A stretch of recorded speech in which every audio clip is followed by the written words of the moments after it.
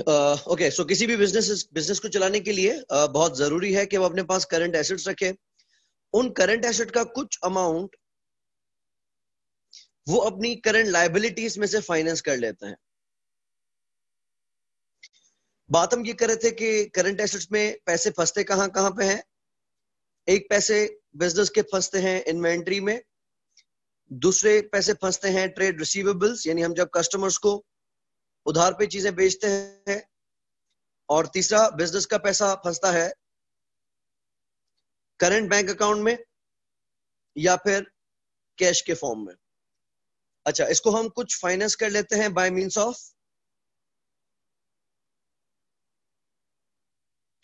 trade payables हमारा target ये था कि पूरे वर्किंग कैपिटल मैनेजमेंट में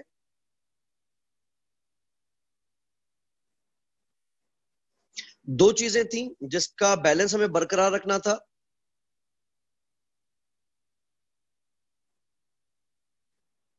एक हमारे पास चैलेंज था प्रॉफिटेबिलिटी का, और दूसरा हमारे पास चैलेंज था लिक्विडिटी का। तो हमें कोशिश ये करनी है कि प्रॉफिट को अगर बढ़ाना है, प्रॉफिट को अगर बढ़ाना है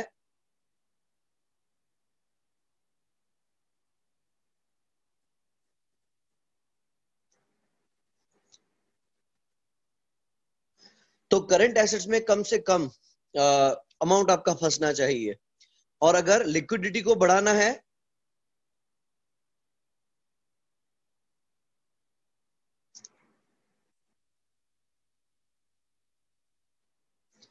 तो करंट एसेट्स को मैक्सिमाइज करना है। अब क्योंकि दोनों का बैलेंस हमें बरकरार करना है तो एक अप्रोच कह रही है कि करंट एसेट्स को बढ़ाएँ और एक अप्रोच कह रही है कि करंट एसेट्स को कम करें।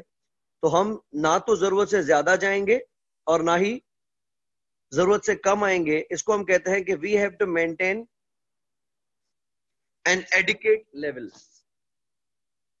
एक मुनासिब लेवल रखना है, जिस तरह घर में एक सिंपल मिसाल हमारे पास होती है कि हम बैटरी में पानी डालते हैं। तो कभी किसी को अगर कहते हैं, यार, बैटरी में देखो पानी कम लग रहा है तो उसको भर दे। तो कुछ अनाड़ी क्या करते हैं, उसको इतना पानी भर देते हैं कि वो ढक्कन तक भर के आ जाता है, कैप तक भर के आ जाता है। और फिर उसके कैप टाइट कर देता है, बोलता है कि सर बैटरी में पानी डाल दिया। लेकिन क्या इतना ज़्यादा पानी बैटरी में डालना बैटरी के लिए ठीक है? डेफिनेटली नहीं। जिनको पता होगा, वो वो उस पर पता है कि बैटरी पे एक लाइन लगी होती है मैक्सिमम लेवल की। वो मैक्सिमम लेवल बेसिकली ये कहता है कि बैटरी में पानी कभी भी इस लेवल से ऊँचा नहीं आना चाहिए। इसी तरीके से जो प्लेटें होती हैं बैटरी की, उस प्लेटों की एक लिमिट होती है कि पानी उससे नीचे नहीं जाना चाहिए। अगर आपकी बैटरी की प्लेटें विजिबल हो जाती हैं, पानी इतना नीचे चला जाता है तो भी बैटरी के लिए खतरनाक है, और अगर बहुत कम आ जाता है तो भी खतरनाक है। तो हमने एक बेसिक रूल क्या पढ़ा था कि investment in working capital should not be too low and should not be too high तो करंट एसेट्स में आपकी इन्वेस्टमेंट बहुत ज़्यादा नहीं होनी चाहिए, क्योंकि बहुत ज़्यादा होगी। तो कंपनी का पैसा जो हमने इन्वेस्टर्स से लिया है जिसपे हम कॉस्ट ऑफ़ कैपिटल रिटर्न देने वाले हैं, वो अगर हमारा फंस गया करंट एसेट्स में तो हमारी कंपनी की प्रॉफिटेबिलिटी मारी जाएगी। और अगर हमने बहुत कम रखे तो हमारी कंपनी की लिक्विडिटी दाव पे लग जाएगी और बिज़नेस के डूबने के चांसेस बढ़ जाएँगे। अच्छा अब हम इन इस पूरे टॉपिक को अपने टॉपिक की तरफ़ ला रहे हैं। That is inventory management inventory क्योंकि वर्किंग कैपिटल का एक हिस्सा है।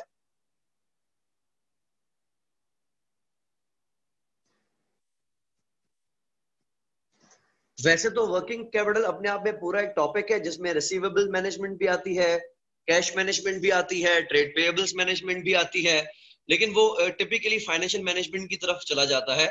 हमारा कॉस्ट एंड मैनेजमेंट अकाउंटिंग के अंदर टिपिकली जो एरिया कवर्ड है वो है सिर्फ़ और सिर्फ़ इन्वेंट्री मैनेजमेंट अच्छा इन्वेंट्री मैनेजमेंट में प्राइमरीली uh, हमारे पास जो टॉपिक कवर है उसके ऊपर हम बात करते हैं that is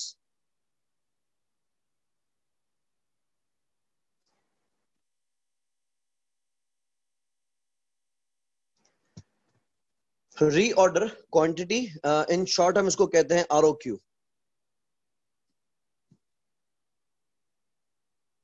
R O Q का मकसद हम ये डिसाइड करना चाहते हैं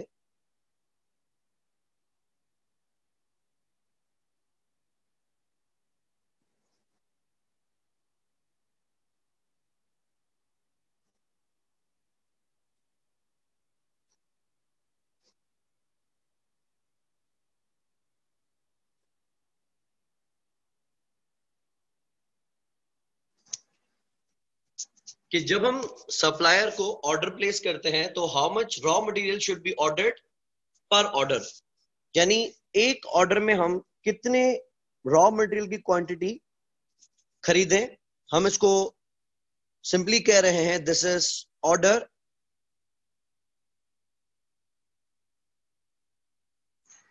क्वांटिटी या फिर ऑर्डर साइज़ के सप्लायर को जब हम ऑर्डर प्लेस करते हैं तो एक ऑर्डर के अंदर कितना रॉ मटेरियल कितना रॉ मटेरियल आपको ऑर्डर करना चाहिए।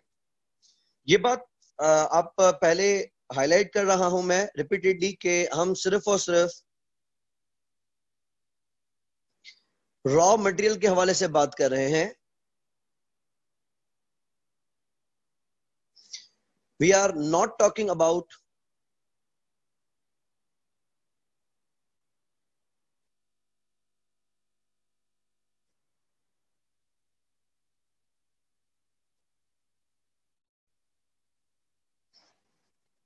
finish goods इस बात को आप हाईलाइटेड रखेंगे कि इन्वेंट्री मैनेजमेंट का हम जितना भी एरिया कवर करेंगे, हम बात कर रहे हैं सिर्फ़ और सिर्फ़ रॉ मटेरियल की। हम वर्क इन प्रोग्रेस की बात नहीं कर रहे, हम फिनिश गुड्स की बात नहीं कर रहे। ना हम डब्ल्यू की बात कर रहे हैं, ना हम फिनिश गुड्स की बात कर रहे हैं। हम वर्किंग कैपिटल मैनेजमेंट में इन्वेंट्री मैनेजमेंट के सेक्शन के अंदर सिर्फ़ और सिर्फ़ रॉ मटेरियल की मैनेजमेंट को कंसिडर कर रहे हैं। अच्छा जब आप ये डिसाइड करने जाते हैं कि हमें कितनी क्वांटिटी ऑर्डर करनी चाहिए तो बेसिकली हमारे सामने दो मुश्किल आती हैं। पहला आती है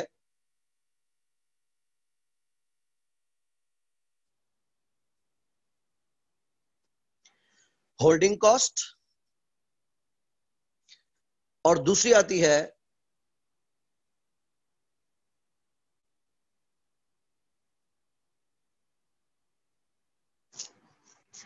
ऑर्डरिंग कॉस्ट से अगर हम ये कहें कि एक बिज़नेस के अंदर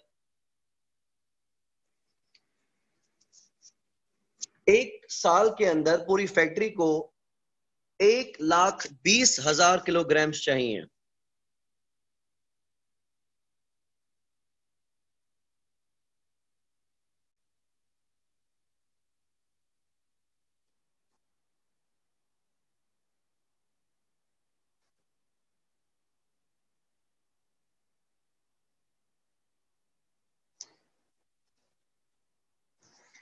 अच्छा अब एक फैक्ट्री है, हमारा कारखाना है, उस कारखाने में एक साल में एक लाख बीस हज़ार किलोग्राम चाहिए। सवाल हम ये उठा रहे हैं कि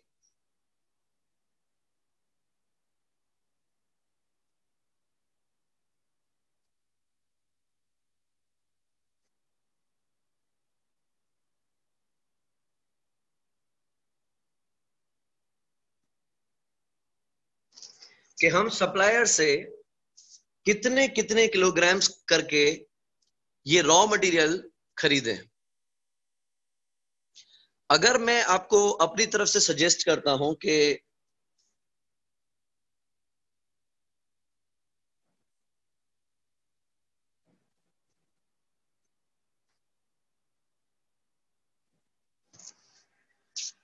जब आप सप्लायर को ऑर्डर प्लेस करें तो सप्लायर को आप ये कहें कि मुझे सिक्सटी थाउज़ेंड किलोग्राम्स भेजो।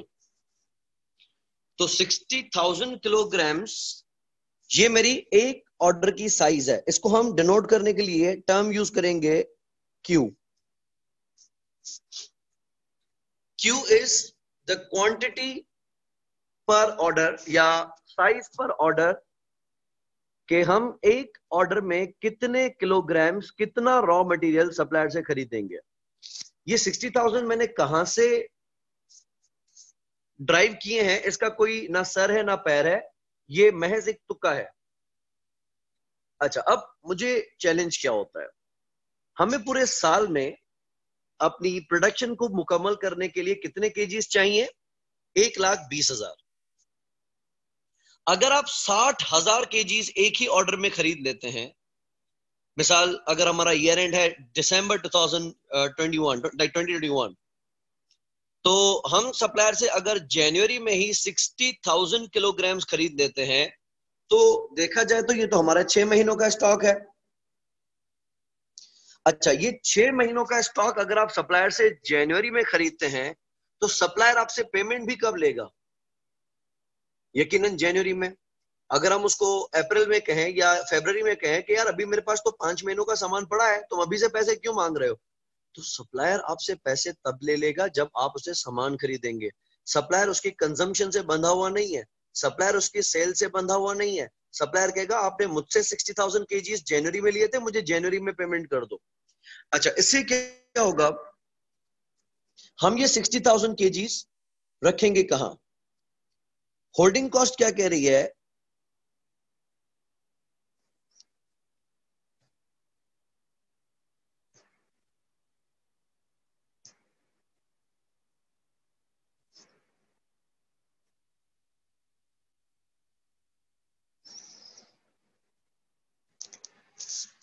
कि जितने ज़्यादा किलोग्राम्स आप खरीदेंगे एक ऑर्डर में, उतनी ज़्यादा आपकी होल्डिंग कॉस्ट आएगी। अगर मैं छह महीनों का स्टॉक जनवरी में ही खरीद के रख लेता हूँ तो वो सिक्सटी थाउज़ेंड के मुझे संभालने पड़ेंगे, अपने वेयरहाउस में रखने पड़ेंगे सप्लायर को सिक्सटी थाउज़ेंड के जीज की मुझे पेमेंट करनी पड़ेगी।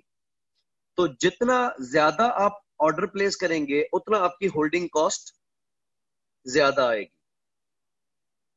अगर इसी जगह पे आ, हम कहते कि इसको 60 ना करो बल्कि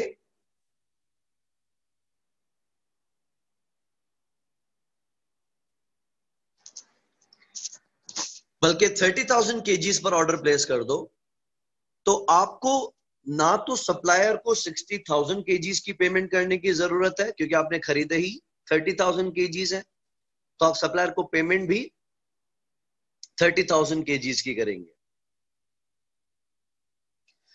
उससे क्या होगा कि अगर आप पूरे छह महीनों का सामान अपने पास होल्ड करते हैं तो आपकी कॉस्ट ज़्यादा आएगी।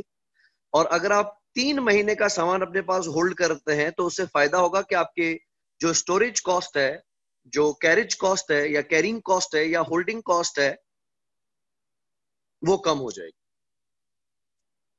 अच्छा अब इशू क्या आ रहा है कि अगर हम पूरे साल का सामान जनवरी में ही खरीद लेंगे तो हमें एक लाख बीस हज़ार किलोग्राम्स को अपने पास होल्ड करना पड़ेगा। अगर हम सिक्सटी थाउज़ेंड करते हैं तो सिक्सटी थाउज़ेंड के होल्ड करने पड़ेंगे। थर्टी थाउज़ेंड करते हैं तो थर्टी थाउज़ेंड होल्ड करने पड़ेंगे। पंद्रह हज़ार करते हैं तो पंद्रह हज़ार होल्ड करने पड़ेंगे। आप जितना कम कम करके मंगवाएँगे, होल्डिंग कॉस्ट उतनी ही बचेगी, क्योंकि उतने ही कम यूनिट्स को आपने होल्ड करना है। अच्छा लेकिन सामने से ऑर्डरिंग कॉस्ट है। ऑर्डरिंग कॉस्ट क्या है? आपको पूरे साल में कितने केजीज चाहिए? एक लाख बीस हज़ार। और एक ही ऑर्डर के अंदर आप कितने केजीज खरीद रहे हैं? अगर सिक्सटी थाउज़ेंड खरीद रहे हैं, अगर सप्लायर को से मैं एक ही ऑर्डर में सिक्सटी थाउज़ेंड किलोग्राम्स बाय कर लेता हूँ तो एक लाख बीस हज़ार के के लिए मुझे कितने बार ऑर्डर प्लेस करना पड़ेगा?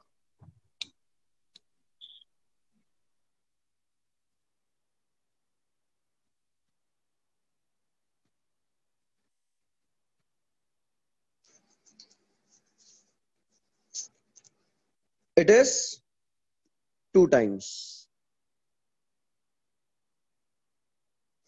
कैसे? आपको पूरे साल में कितने केजीज चाहिए? एक लाख? बीस हज़ार? और आप एक ऑर्डर में कितने केजी मंगवा रहे हैं? साठ हज़ार। तो आप सप्लायर को एक ऑर्डर प्लेस करेंगे, आपके पास साठ हज़ार आ जाएँगे। दूसरा ऑर्डर प्लेस करेंगे, मजीद साठ हज़ार आ जाएँगे। तो आप दो ऑर्डर्स में ही अपनी क्वांटिटी पूरी कर लेंगे। इसी तरीके से अगर मैं सप्लायर से thirty thirty thousand kilo KGs करके खरीदता हूँ तो एक लाख बीस हज़ार केजीज खरीदने के लिए मुझे सप्लायर को ऑर्डर कितनी बार प्लेस करना पड़ेगा?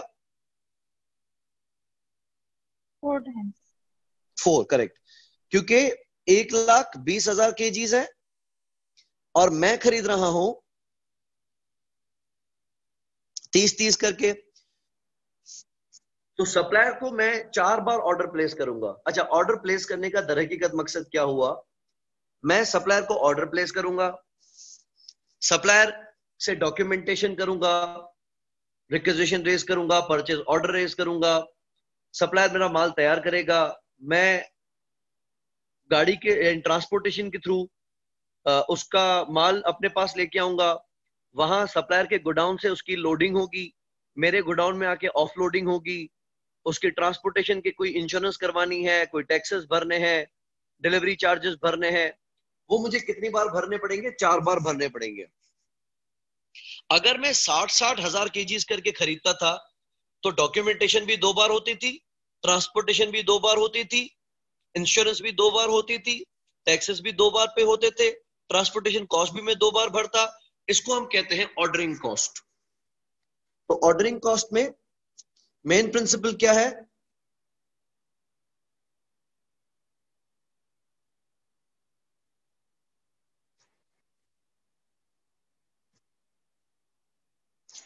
कि जितना आपकी ऑर्डर क्वांटिटी बड़ी होगी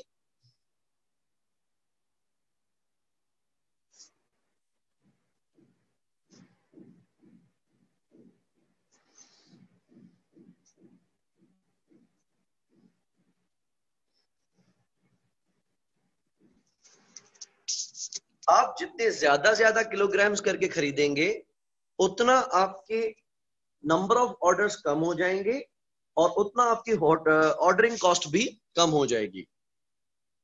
तो अब यहाँ पे ट्रेड ऑफ़ है बिटवीन टू एक हमें बेयर करनी पड़ रही है होल्डिंग कॉस्ट और दूसरी हमें बेयर करनी पड़ रही है ऑर्डरिंग कॉस्ट अगर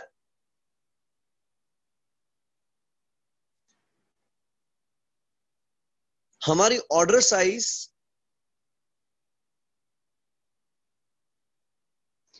बिगर है, यानी हम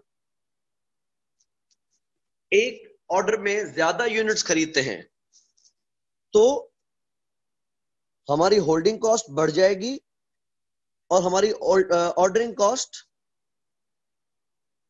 सेव हो जाएगी। सिमिलरली अगर हमारी ऑर्डर साइज़ छोटी है तो हमारी होल्डिंग कॉस्ट भी कम होगी, लेकिन नंबर ऑफ़ ऑर्डर्स बढ़ जाएँगे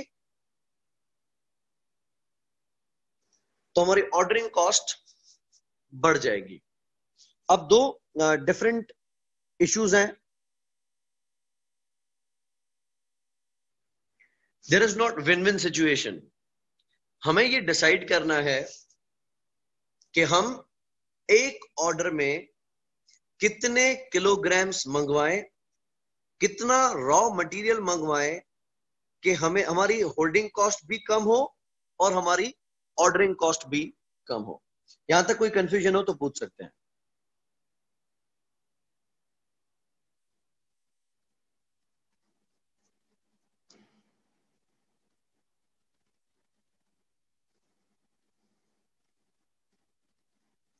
नो अच्छा अच्छा पहले हम इस चीज़ को देख लेते हैं कि होल्डिंग कॉस्ट और ऑर्डरिंग कॉस्ट है क्या चीज़। ये समझना बहुत ही ज़्यादा ज़रूरी है बिकॉज़ जो चीज़ हम पढ़ने जा रहे हैं वो बहुत ही आसान सी चीज़ है।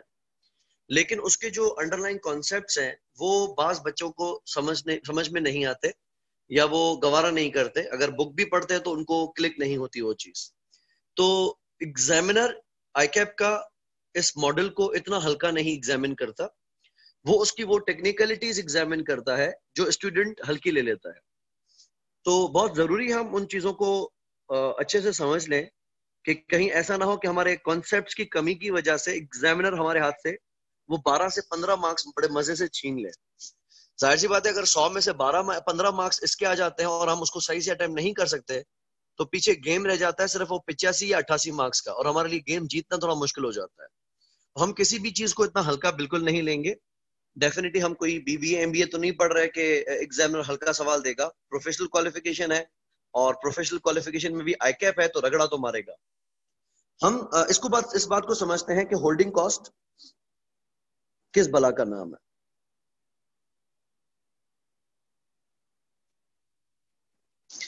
ओके okay, मैं आप लोगों को थोड़ा टाइप करने का टाइम दे रहा हूँ। या माइक ऑन करने का टाइम दे रहा हूँ आप मुझे बताएँगे कि होल्डिंग कॉस्ट में कौन कौन सी कॉस्ट आती है? होल्डिंग कॉस्ट में कौन कौन सी कॉस्ट आती है?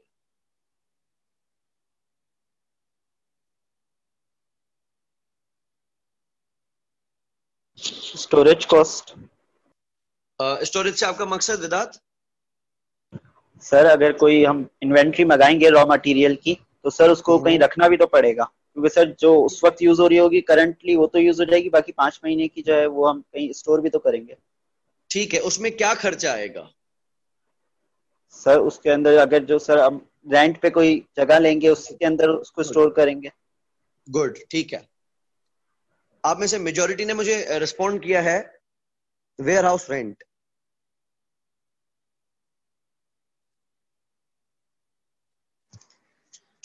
और कोई खर्चा?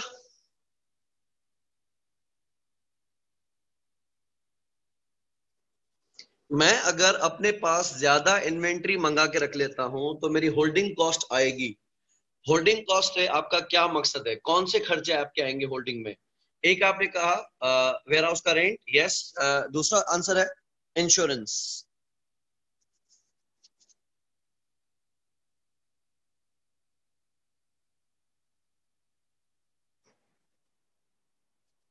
यस एनीवन एल्स और कुछ?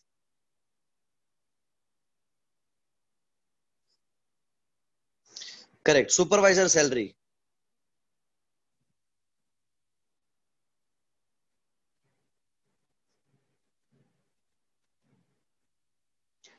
गुड और कुछ इंटरेस्ट ओके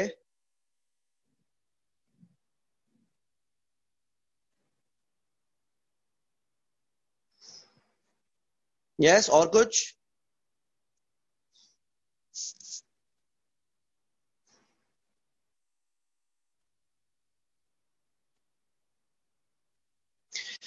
ठीक है। अच्छा मैं अपनी तरफ़ से रखता हूँ। लेट्स से उसकी सिक्योरिटी कॉस्ट है। आ, उसकी इलेक्ट्रिसिटी कॉस्ट है।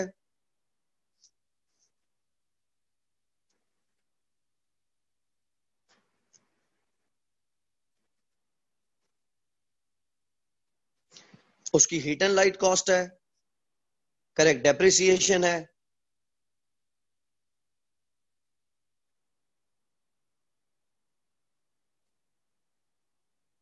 गुड अच्छा ये सारे आ, हमने इखराजात गिन लिए। गुड इट्स पेरिशेबल आइटम्स को रखने का खर्चा करेक्ट जिस तरह फार्मास्यूटिकल या फ़ूड आइटम्स ऐसे होते हैं जिनको आप वेयर हाउस में एक प्रॉपर टेम्परेचर के अंदर रखोगे। अगर आपके वेयर हाउस का टेम्परेचर बहुत ज़्यादा ड्रॉप हो गया यानी ठंड हो गई या बहुत ज़्यादा शूट हो गया यानी गर्मी हो गई तो वो जो पेरिशेबल आइटम्स होते हैं या वो जो भी सेंसिटिव uh, आइटम्स होते हैं वो खराब हो जाते हैं। तो यस वेरी इंपॉर्टेंट उसकी जो हीट एंड लाइट की कॉस्ट है जो टेम्परेचर मेंटेन करने की कॉस्ट है वो हमें बेयर करनी पड़ेगी। अच्छा अब मेरी इंपॉर्टेंट बात सुन। लो आपको परेशानी किस बात की है? जब आप ये सोच रहे हैं कि हम सप्लायर से कितने यूनिट्स खरीदें तो मैं आपको कहता हूँ, भाई, कितने भी खरीद लो, आपको कितने चाहिए? आप कहते पूरे साल में एक लाख बीस हज़ार किलोग्राम्स मुझे चाहिए। तो मैं आपको कहता हूँ एक लाख बीस हज़ार खरीद लो, एक साथ खरीद लो। तो आप मुझे कहते हैं, सर, इतने सारे एक साथ खरीद लू? मैं कहता हूँ हाँ तो क्या टेंशन है? आप कहते सर, मेरा होल्डिंग कॉस्ट आ जाएगी। अच्छा मज़े की बात। आपसे मैंने पूछा, होल्डिंग कॉस्ट क्या है? आपने कहा कि, सर वेयर हाउस का रेंट है। तो मैं कहता हूँ, भाई, अगर दस दस हज़ार के करके खरीदोगे, अगर पंद्रह पंद्रह हज़ार के करके खरीदते हो बीस बीस करके खरीदते हो तीस तीस करके खरीदते हो साठ साठ करके खरीदते हो कि एक लाख बीस एक साथ खरीद लेते हो क्या आपके वेयर हाउस के रेंट पे किसी किस्म का कोई फ़र्क आएगा? तो हम ये देखते हैं कि वेयर हाउस के रेंट की जो नेचर है वो क्या है? वो कॉस्ट ऑफ़ फिक्स्ड है। फिक्स्ड फेयर तो आपको किस बात की चिंता खाई जा रही है? मैं जब आपको कह रहा हूँ कि पूरे साल का माल खरीद लो एक साथ, पूरे साल की इन्वेंट्री एक ही ऑर्डर में मंगवा लो तो आप तो उसी गोडाउन के अंदर रखोगे ना, जहाँ दस हज़ार के जी रखोगे, जहाँ बीस हज़ार रखोगे, जहाँ तीस रखोगे, जहाँ पचास रखोगे, जहाँ साठ रखोगे, वहीं एक लाख बीस रखोगे। तो आपके वेयर हाउस का रेंट तो हर सूरत आपने भरना ही है ना। क्या कर दोगे अगर दस दस हज़ार करके खरीद तो खरीदेंगे तो क्या वेयर हाउस का रेंट कम हो जाएगा क्या? आप कहते नहीं सर वेयर हाउस का रेंट तो वही है। तो मैं कहता हूँ, यार, आप एक फजूल टेंशन लिए कर रहे हो। आप एक ऐसी चीज़ की परेशानी में हो जिससे आपके फैसले पे कोई असर ही नहीं पड़ता। तो उस बेवफा के बारे में सोचना ही क्या? जिसके बारे में आप तो सोच रहे हो, लेकिन उससे कक फ़र्क नहीं पड़ता आपके फैसले से। तो आप इन्वेंट्री पूरे साल की एक ही साथ खरीद लो तीन तीन महीने की खरीदो छह छह महीने की खरीदो या महीने महीने की खरीद लो वेयर हाउस का रेंट तो वहीं का वहीं है। तो आप उस बेवफा के बारे में सोच भी क्यों रहे हो? सिमिलरली आते हैं इंश्योरेंस कॉस्ट अगर के आपके वेयर हाउस की इंश्योरेंस सालाना फिक्स है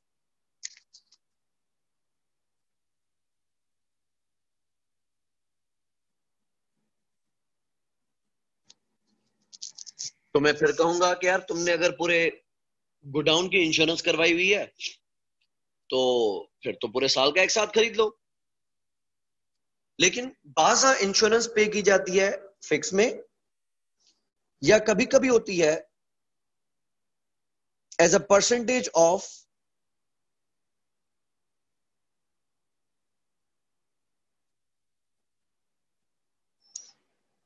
stock value अगर कि आपकी इंश्योरेंस कॉस्ट फिक्स्ड है तो टेंशन नहीं लो।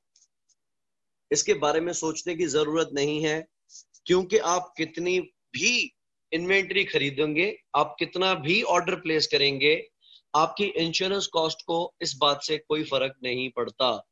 हाँ लेकिन अगर आप इंश्योरेंस पे करते हैं प्रीमियम पे करते हैं as a percentage of stock value तो आपका सोचना जायज़ है। क्योंकि अगर आप ज़्यादा स्टॉक रखोगे तो ज़्यादा प्रीमियम भरना पड़ेगा। कम स्टॉक रखेंगे तो कम प्रीमियम भरना पड़ेगा। सुपरवाइजर की सैलरी का क्या सीन है?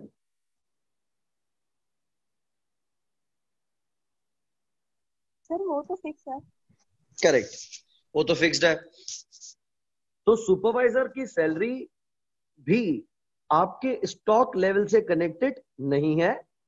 हाँ आप सारा सामान एक साथ खरीद लें साठ साठ हज़ार करके खरीदें तीस तीस हज़ार करके खरीदें दस दस हज़ार करके खरीदें। आपके सुपरवाइजर की महाना तनख्वाह तो वही होगी, चाहे आपकी स्टॉक की लेवल या स्टॉक की वैल्यू कुछ भी हो। तो इसके बारे में भी सोचना फजूल है। अच्छा इंटरेस्ट का क्या मकसद है?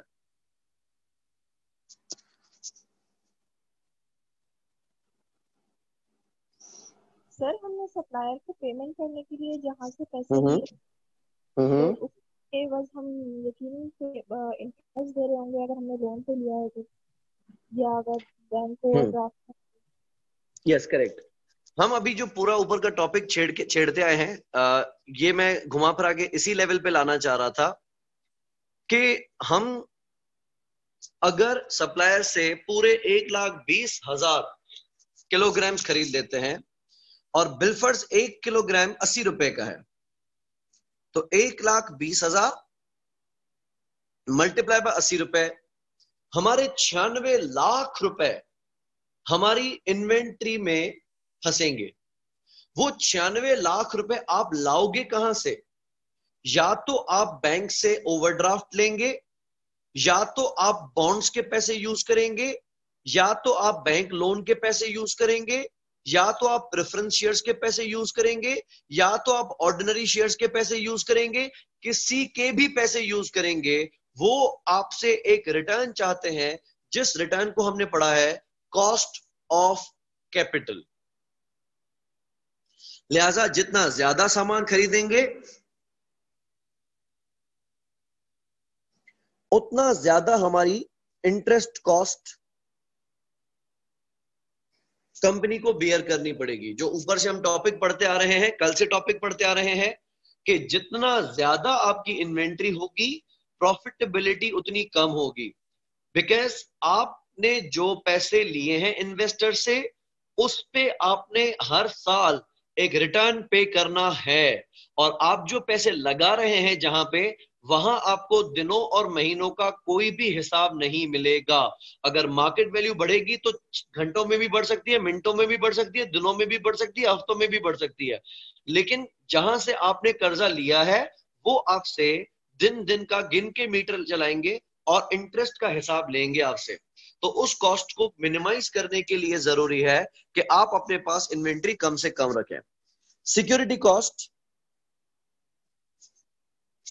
अगेन फिक्स्ड है कि अगर आपके पास फायर अलार्म्स हैं सिक्योरिटी गार्ड्स हैं सीसीटीवीज हैं, जितनी भी सर्विलेंस आपने रखी हुई है, वो सर्विलेंस की जो मेंटेनेंस कॉस्ट है या जो ऑपरेटिंग कॉस्ट है, वो फिक्स्ड है।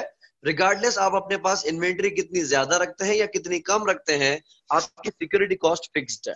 इसी तरीके से इलेक्ट्रिसिटी कॉस्ट को भी हम फिक्स्ड की कैटेगरी में लाते हैं। क्योंकि आपकी बिजली का बिल बाबडा के, हेस्को के नंबर ऑफ़ किलोवाट आवर्स के हिसाब से कमो पेश ज़रूर हो सकता है, लेकिन इन्वेंट्री ज़्यादा रखी है, कम रखी है, इससे आपके इलेक्ट्रिसिटी कॉस्ट पे कोई भी फ़र्क नहीं पड़ेगा। हीट एंड लाइट कॉस्ट जो टेम्परेचर मेंटेन करना या लाइटनिंग करने का खर्चा है, वो भी फिक्स्ड है। इसी तरीके से जो डेप्रिसिएशन है, वो भी फिक्स्ड है। हेंस जो भी आइटम्स फिक्स्ड है, उसके ऊपर आपने कंसिडरेशन नहीं रखनी है। समअप कर रहे हैं। होल्डिंग कॉस्ट है क्या चीज़?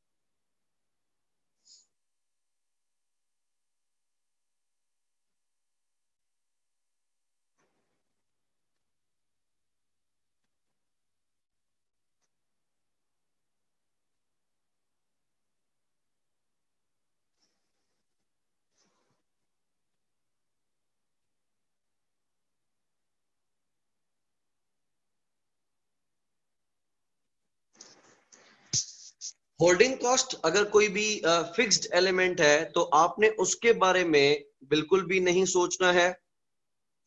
Holding cost is per unit per annum मिसाल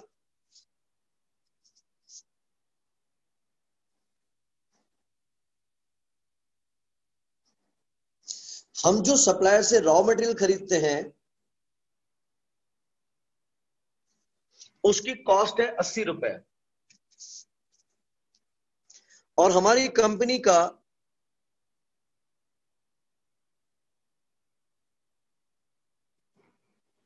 कॉस्ट ऑफ़ कैपिटल है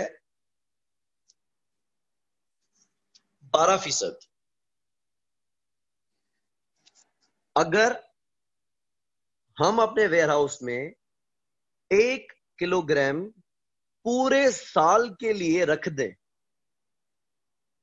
अगर हम एक किलोग्राम पूरे साल के लिए अपने वेयरहाउस में रख दें तो उसकी कॉस्ट क्या होगी? हम अपने अस्सी रुपए फंसाएँगे, लेकिन वो अस्सी रुपए हम लाएँगे कहाँ से? या तो आप बैंक के ओवरड्राफ्ट को यूज़ करेंगे, या आपने बैंक से लोन लिया होगा, या आपने बॉन्ड इश्यू किए होंगे, या आपने डिबेंचर इश्यू किए होंगे, या आपने प्रेफरेंस शेयर होल्डर से पैसा लिया होगा, या आपने ऑर्डनरी शेयर होल्डर से पैसा लिया होगा। आपके इन्वेस्टर का रिक्वायर्ड रेट ऑफ़ रिटर्न कितना है?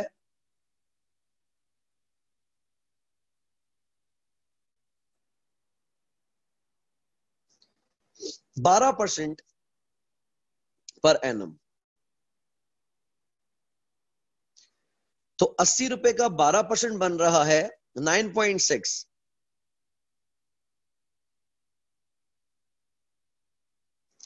what is this 9.6 it is cost of holding ch cost of holding one kilogram for year अगर हम एक किलोग्राम पूरा साल अपने पास वेयर हाउस में रख दें तो हमारी कंपनी को उसका खर्चा आएगा नाइन पॉइंट सिक्स रुपीज़ जितने ज़्यादा किलोग्राम्स रखोगे, उतनी ज़्यादा होल्डिंग कॉस्ट आएगी.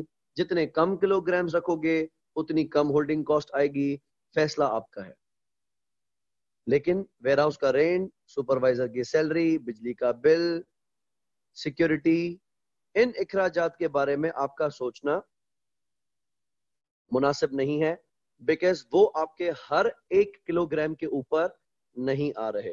तो हम जब भी सी एच पढ़ेंगे, इसका मकसद है holding cost per unit per annum कोई भी होल्डिंग कॉस्ट जो कि फिक्स्ड है, यानी regardless of level of inventory regardless of value of inventory है, उसके ऊपर हम बिल्कुल भी टेंशन नहीं लेंगे बिकॉज़ वो खर्चा तो आएगा ही आएगा। चाहे हम कितने भी किलोग्राम्स खरीदते हैं चाहे हम सप्लायर से कितने भी यूनिट्स मंगवाते हैं।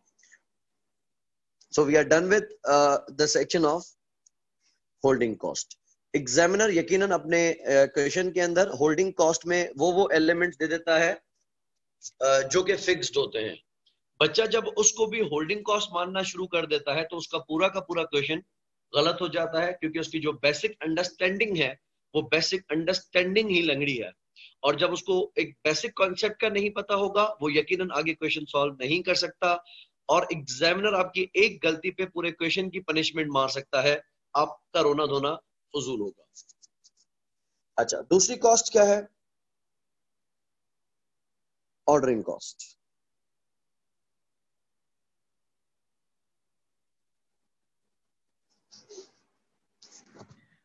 ठीक उस तरह से जिस तरह हमारी होल्डिंग कॉस्ट को में हमने सिर्फ़ और सिर्फ़ वेरिएबल एलिमेंट्स को काउंट किया, ठीक उसी तरीके से ऑर्डरिंग कॉस्ट में भी हम सिर्फ़ और सिर्फ़ वेरिएबल एलिमेंट्स को काउंट करेंगे। अगर कोई भी फिक्स्ड एलिमेंट्स आपके ऑर्डरिंग में है तो उनको आप काउंट नहीं करेंगे। लेकिन यहाँ हमारा जो यूनिट रखा जाएगा तो ordering cost is cost per order. It is not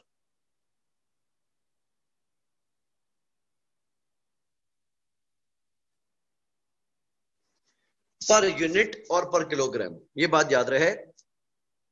Ordering cost is cost per order इसमें क्या क्या खर्चे आ सकते हैं?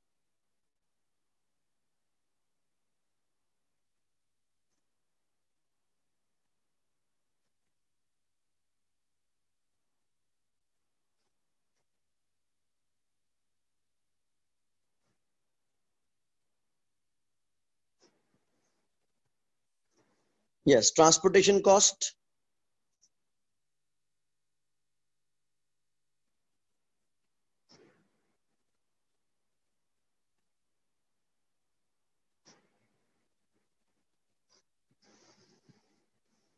Yes, anything else?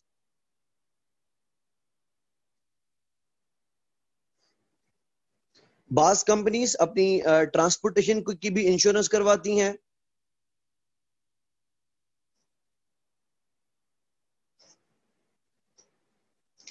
उसके अलावा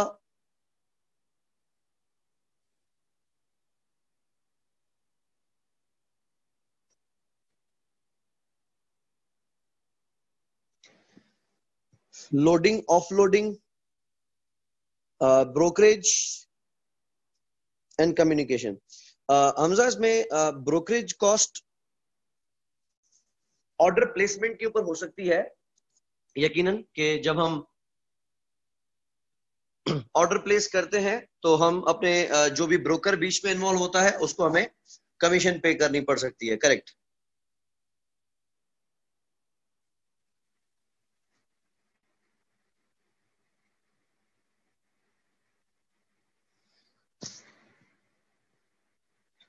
कम्युनिकेशन करेक्ट जो उसकी ऑर्डर प्लेसमेंट में डॉक्यूमेंटेशन है।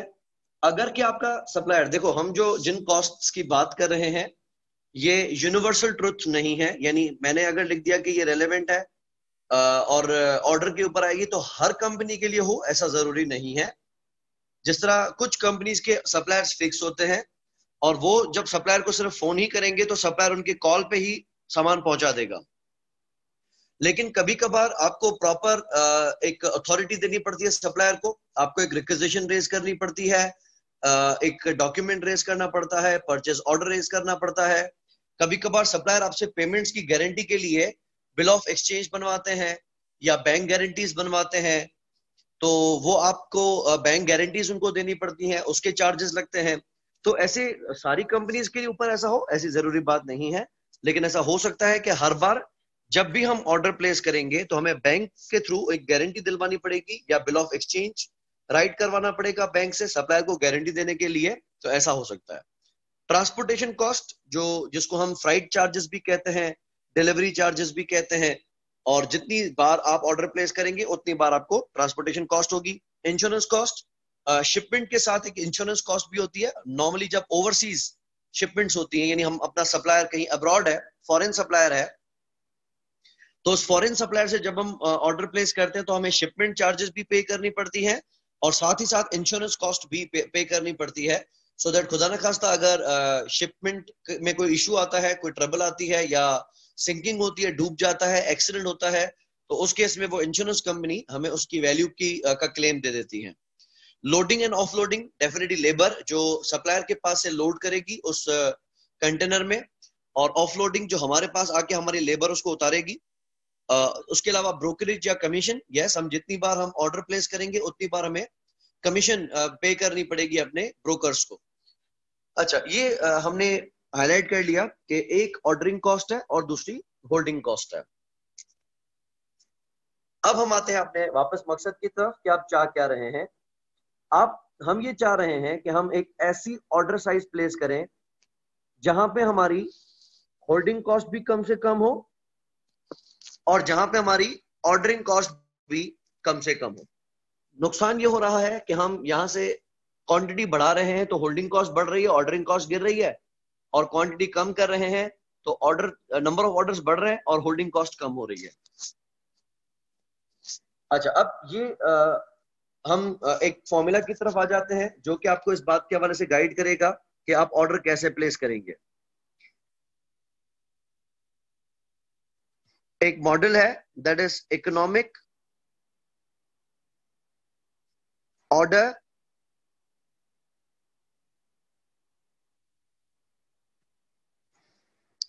quantity in short हम इसको कहते हैं ई ओ क्यू इस मॉडल का क्लेम यह है कि मैं आपको एक ऐसी ऑर्डर क्वांटिटी बताऊँगा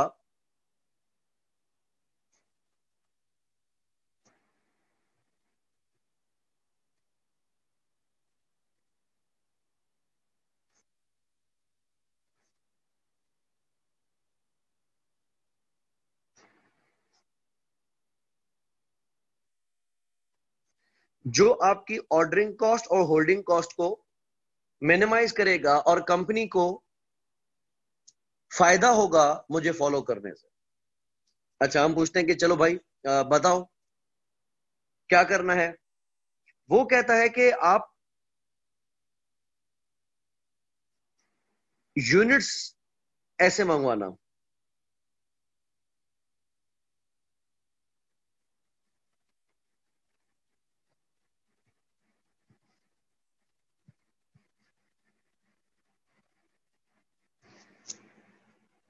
ये इसने एक फॉर्मूला दे दिया, जिससे हमें इकोनॉमिक ऑर्डर क्वांटिटी इकोनॉमिक हम कहते हैं बचत पैक को ना इकोनॉमी पैक, बचत पैक इकोनॉमी मतलब जहाँ से आपको बचत होगी। तो इकोनॉमिक ऑर्डर क्वांटिटी यानी ऑर्डर की वो क्वांटिटी ऑर्डर की वो साइज़ ऑर्डर की वो वैल्यू जिससे आपको बचत होगी।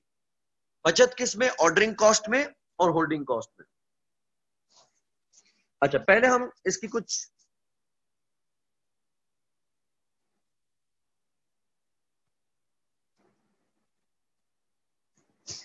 अजम्पन्स देख लेंगे। अजम्पन्स का मकसद ये, जब भी कोई मॉडल हम पढ़ेंगे, वो पहले अपना एक माहौल बनाएगा और कहेगा कि मैं सिर्फ़ इस माहौल में काम कर सकता हूँ, इसके अलावा अगर कोई माहौल है तो मैं काम नहीं कर सकता। लिहाजा आपने कुछ अजम्पन इंश्योर करनी है। हमने कहा, चलो ठीक है, बताओ क्या क्या पहला इसने कहा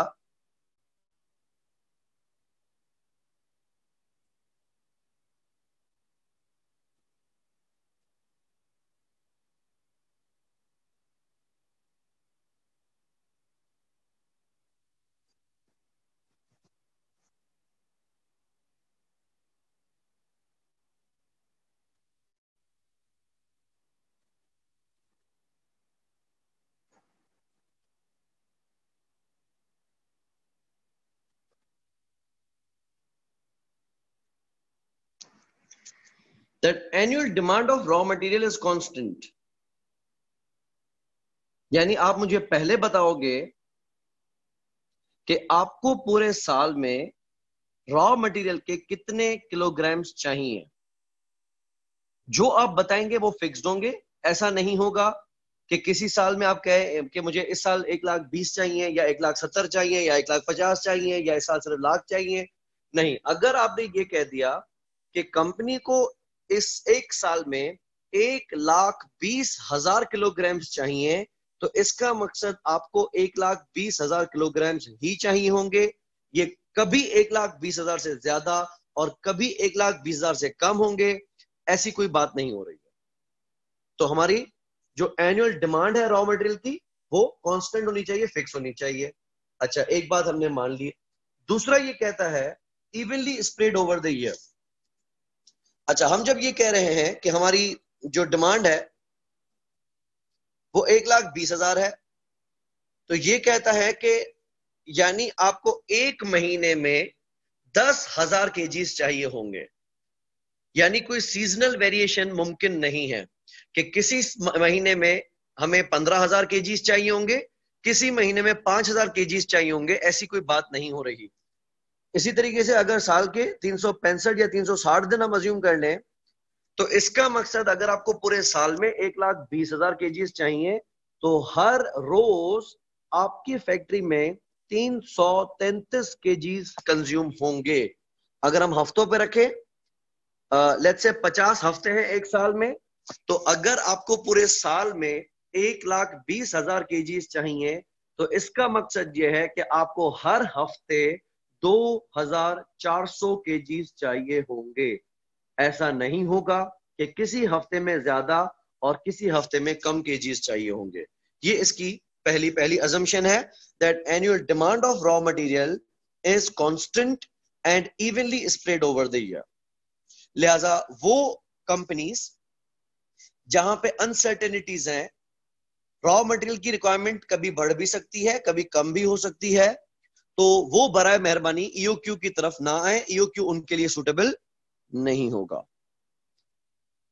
अच्छा दूसरा भाई बोलो, और क्या बोलते हो? तो उसने कहा कि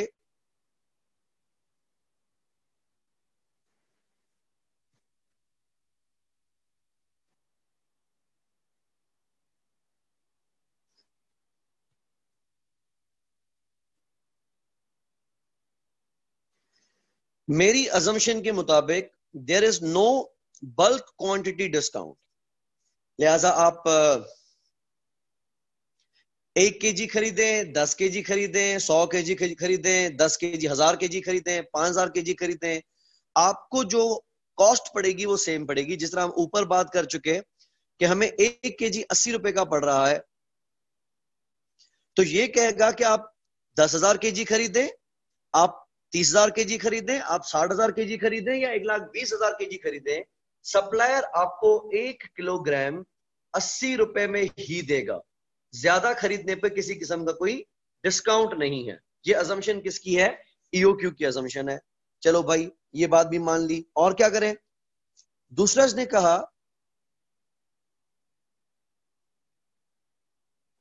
that holding cost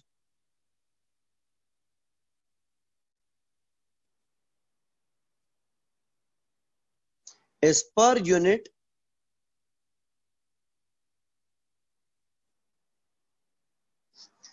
per annum हम ये बात ऊपर कर चुके हैं, ये होल्डिंग कॉस्ट फिक्स नहीं होनी चाहिए। अगर के होल्डिंग कॉस्ट फिक्स्ड है, यानी आप कितने भी यूनिट्स खरीदो, खर्चा वही आएगा। तो फिर ईओक्यू e आपके काम में नहीं आएगा, क्योंकि ईओक्यू e सिर्फ़ तभी आपका काम आ सकता है, जब आपकी होल्डिंग कॉस्ट वेरिएबल होगी। अच्छा चौथी एजम्पन क्या भाई बोल रहे हो? ये कह रहा है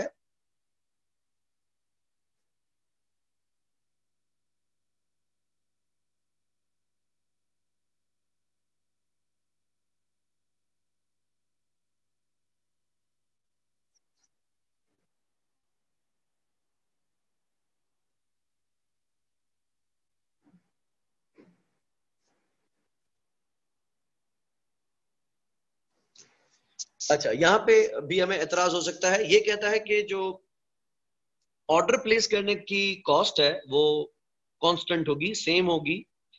चाहे आप कितना बड़ा या कितना छोटा ऑर्डर प्लेस करें, हालाँकि हम ये कह सकते हैं कि अगर हम पाँच हज़ार के खरीदते हैं तो वो शायद जो चिंची लोडर होता है, उसमें आ जाएँगे। अगर हम दस हज़ार के जी खरीदते हैं तो हमें शायद वो सुजुकी मजदा खरीदनी करनी पड़ेगी। थोड़ी उसका किराया ज़्यादा होता है। और अगर हम तीस हज़ार के जी खरीदेंगे तो फिर हमें शेजोर करानी पड़ेगी और उसकी कॉस्ट थोड़ी और ज़्यादा है। अगर हम चालीस हज़ार के जी खरीदेंगे तो हमें ट्रक बुक कराना पड़ेगा और ट्रक का किराया उससे भी ज़्यादा है। अगर हम साठ हज़ार के जी खरीदेंगे तो फिर बात कंटेनर तक चली जाएगी और हमें पूरा कंटेनर बुक कराना पड़ जाएगा। दैट मीन्स कि आप अगर कम कम के जी करके खरीदेंगे तो आपकी जो ट्रांसपोर्टेशन या जो लोडिंग अनलोडिंग कॉस्ट है, जो ऑर्डरिंग कॉस्ट है, वो कम हो सकती है। और आप बड़ी बड़ी क्वांटिटी खरीदेंगे तो आपकी जो कॉस्ट पर ऑर्डर है, वो बढ़ सकती है। लेकिन ईओ क्यू कहता है कि भाई मैं आपसे बात नहीं कर रहा। अगर आप ऐसी बातें करोगे तो मैं नहीं खेल रहा। हम कहते हैं, कैसी बात, बातें भाई? वो कहता है, यार, बात सुनो। आप चाहे पाँच हज़ार के जी खरीदो, दस हज़ार के जी खरीदो बीस हज़ार के जी खरीदो, तीस खरीदो, साठ खरीदो के एक लाख बीस खरीदो। आपकी जो ऑर्डर प्लेस करने की ट्रांसपोर्ट करने की डिलीवर करने की लोडिंग ऑफ़ लोडिंग की कॉस्ट पर वन ऑर्डर है, वो सेम होगी। ऑर्डरिंग साइज़ कम या ज़्यादा करने से आपकी ऑर्डरिंग कॉस्ट पे फ़र्क नहीं पड़ना चाहिए। अगर हाँ कबूल है तो आगे चले, नहीं तो फिर आप यहाँ से जाओ। अच्छा ये इसकी चौथी असम्पशन आ गई कि जो ऑर्डरिंग कॉस्ट है वो सेम रहनी चाहिए। क्वांटिटी कम या ज़्यादा होने से ऑर्डर साइज़ ऑर्डर कॉस्ट पे फ़र्क नहीं पड़ना चाहिए। अच्छा और क्या कहता है? ये कहता है कि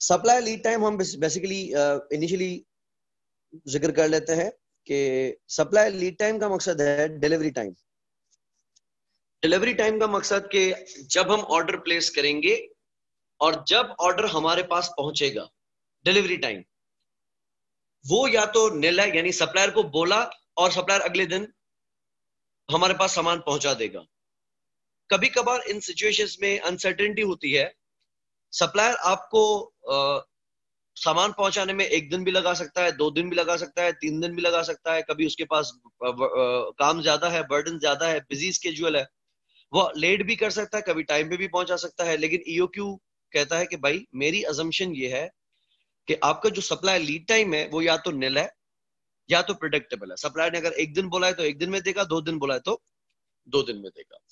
ये ईओक्यू e की कुछ अजम्पन्स हैं। अगर आपकी कंपनी में ऐसा माहौल है तो आप ईओक्यू फॉलो कर सकते हैं।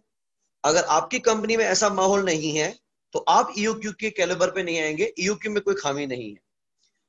और मैं हमेशा ये कहता हूँ कि अजम्पन्स देने का मकसद है पर काट दो। दिमाग चलाने की गुंजाइश खत्म कर दो। आप सोचो नहीं ज़्यादा, जो मैंने बोला है, आप उसी पे आ जाओ। तो ये अजम्पन्स हैं। अजम्पन मतलब अगर आप कहें कि, सर, कभी अगर ज़्यादा ज़रूरत पड़ जाए रॉ मटेरियल की, मैं बोलूँगा, तुम ज़्यादा बोल रहे हो? यू क्यों कह रहा है ऐसा नहीं हो सकता? आप कहें, सर, अगर बड़ा ऑर्डर प्लेस करने पे ऑर्डरिंग कॉस्ट बढ़ जाए तो मैं कहूँगा तुम ज़्यादा बोल रहे हो। यू क्यों कह रहा है कि ऐसा नहीं हो सकता? तो यू क्यों की अजम्पन्स जिस माहौल में फिक्स आएँगी फिट आएँगी, हम उसी कंपनी के अंदर ईओक्यू यूज़ कर सकते हैं? अच्छा अब ईओक्यू के अंदर हमें चाहिए क्या क्या U Q is square root of C O C O का मकसद है कॉस्ट पर ऑर्डर अजम्पशन आपको याद है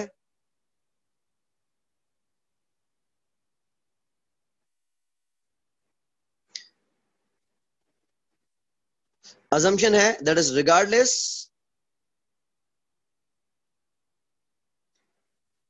of order size q कितना भी हो what is ch ch is?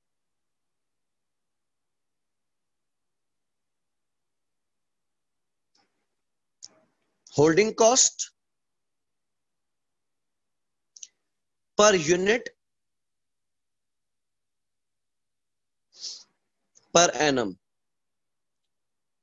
last important area समझ समझा रहा हूँ। डी का मकसद है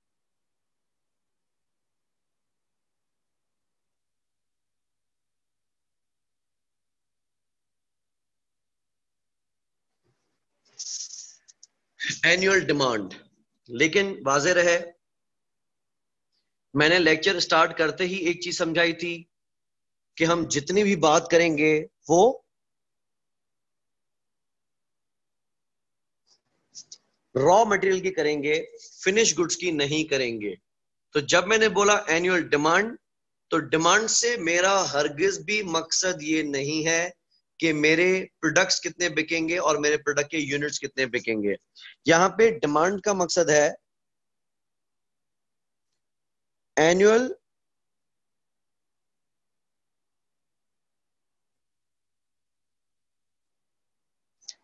consumption of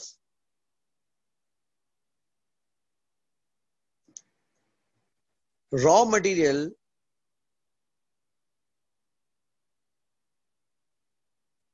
factory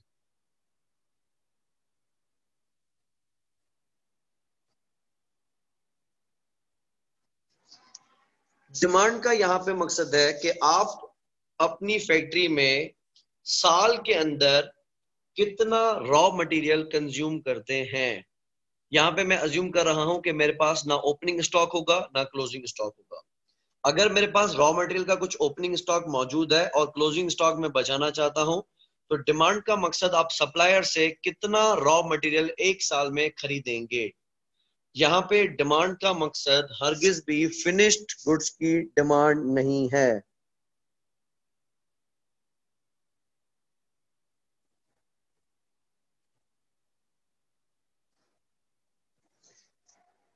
So it is not sale of finish goods D का मकसद है demand of raw material in factory clear so to formula के अंदर गिवन है। सी ओ का मकसद यहाँ पे मैंने बता दिया। This is cost per order D का मकसद हमने देख लिया एनुअल डिमांड और सी एच का मकसद हमने देख लिया it is holding cost per kilogram per annum फैनफ अभी आपकी नमाज़ का टाइम हो गया है। अगर किसी को कोई क्वेश्चन है तो आप पूछ सकते हैं अदरवाइज़ हम इसको यहाँ पे फाइंड आउट करें। हमजा बहुत सारी फैक्ट्रीज जहाँ के अंदर मिसाल हम कुछ फैक्ट्रीज की ऐसी बात करें जिसमें डिमांड जो है वो सर्टेन होती है जहाँ पे कोई सीज़न का इशू नहीं होता। लेट्स से फॉर इंस्टेंस अगर हम आ, किसी ऐसी कंपनी की नेस्ले की बात करते हैं या एक्फिना की बात करते हैं जो अपने पानी की जो कैन बनाता है वो अपने साल के तीन सौ पैंसठ दिन फुल कैपेसिटी पे काम करता है। चाहे गर्मियाँ हो, चाहे सर्दियाँ हो, उनका जो पानी पूरे मुल्क में बिकता है, वो फुल कैपेसिटी पे बिकता है। यानी उनके पास अभी भी डिमांड बहुत ज़्यादा है, लेकिन उनके पास कैपेसिटी ही कम है। लिहाजा, उनकी अगर एनुअल डिमांड देखी जाए तो वो कांस्टेंट है। हर महीने, हर हफ़्ते, हर दिन उनको same quantity of raw material चाहिए। मिसाल, अगर वो कंपनीज़ अपने केमिस्ट से, अपनी कंपनी से मिनरल्स खरीदती हैं तो मिनरल्स जो खरीदे जाएँगे, वो साल के तीन दिनों में बराबर ही खरीदे जाएँगे, क्योंकि उनकी जो डिमांड है, वो बिल्कुल सर्टेन है। तो ऐसी कंपनीज़ और क्योंकि मिनरल्स ज़्यादा भी खरीदें या कम भी खरीदें, कोई इतने भारी नहीं होते पाउडर ही होता है एक तो पाउडर को आप कितनी भी क्वांटिटी में खरीद दें, वो किसी भी गाड़ी के अंदर फिट आ जाएगा उसको कोई बड़ी, भारी भरकम कंटेनर लेने की ज़रूरत नहीं होती। तो ऐसी कंपनीज़ जहाँ पे डिमांड सर्टेन होती है और उनके पास हर साल सेम डिमांड रहती है और हर दिन सेम डिमांड रहती है तो ऐसी कंपनीज़ ईओक्यू फॉलो करती हैं। बाकी जहाँ सीजनल है, मिसाल हम फ्लोर मिल की बात करें तो फ्लोर मिल सिर्फ़ तभी चलेगी जब उसके पास गंदम उतरेगी। जिस अभी मौसम चल रहा है, अभी पाकिस्तान में सीज़न है, हम गंदम हार्वेस्ट कर रहे हैं। तो ये कुछ अरसे तक चलाएँगी उसके बाद जब गंदम मार्केट से खत्म हो जाएगी तो उसके पास जो काम है आटा बनाने का वो काफ़ी हद तक कम हो जाएगा। इसी तरीके से टेक्सटाइल मिल्स हैं या कॉटन फैक्ट्रीज हैं वो सीज़न पे डिपेंड करती हैं तो उन कंपनीज़ के ऊपर ईओक्यू सुटेबल नहीं होता। मोस्टली जो ईओक्यू है ये थियोरिटिकल टेक्निक है प्रैक्टिकली इसको ऑलमोस्ट कोई भी कंपनी फॉलो नहीं करती। लेकिन आईकैप ने या किसी भी प्रोफेशनल क्वालिफिकेशन ने, ने इसको सिलेबस में डाला हुआ है क्योंकि इसकी थोड़ी कैलकुलेशन टेक्निकल है। तो उस टेक्निकल कैलकुलेशन की वजह से इसको एग्जामिन करने में आसानी होती है। बाकी अगर देखा जाए तो एज सच कोई प्रैक्टिकली इसको कोई कंपनी फॉलो नहीं करती। Okay Rahman assumption number five was supply lead time is nil और प्रिडिक्टेबल सप्लाई लीड टाइम हम कहते हैं कि हम सप्लायर को जब ऑर्डर प्लेस करेंगे तो कितने अरसे के बाद सप्लायर वो सामान हमारे पास डिलीवर करेगा? बाजा इसमें अनसर्टेनिटी होती है कि हम जब ऑर्डर प्लेस करते हैं और हमें ऑनलाइन सप्लायर कहता है कि आपके पास तीन दिनों में पहुँच जाएगा, लेकिन हम तीन दिनों के बाद फ़ोन कर रहे तो पता चल रहा है कि बस आज निकाल रहे हैं। तो अनसर्टेनिटी अपनी जगह पे मौजूद रहती है। लिहाजा सप्लायर को ऑर्डर प्लेस करने के बाद कितने टाइम के अंदर अंदर वो सामान आपके गोडाउन में पहुँच जाएगा, इसको हम कहते हैं सप्लाई लीड टाइम ईओक्यू का मानना यह है कि लीड टाइम में किसी किस्म की कोई अनसर्टेनिटी नहीं है। या तो वो उस ही वक्त पहुँच जाएगा जब आप सप्लायर को बोलोगे, या तो सप्लायर जो दो दिन, तीन दिन कह रहा है, वो उसी गिवन टाइम के अंदर अंदर आपको डिलीवर कर देगा। सप्लायर को टाइम नहीं लगेगा पहुँचाने में। ये इसकी पांचवी असम्पशन